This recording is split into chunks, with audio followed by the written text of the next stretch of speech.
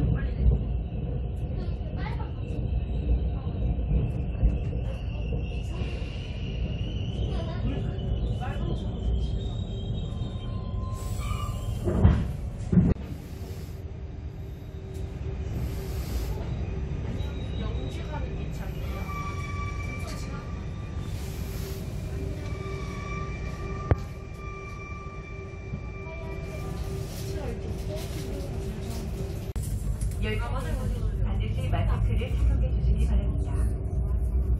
음식물을 드실 때에는 대화를 자제하며 조용히 주식해 주시고 드신 후에는 다시 마스크를 착용해 주십시오. 긴 통화나 대화가 필요하신 분은 객실방 통로를 이용해 주십시오. 올바른 마스크 착용 및 생활 방역 수칙 순서대로 코로나19 극복에 주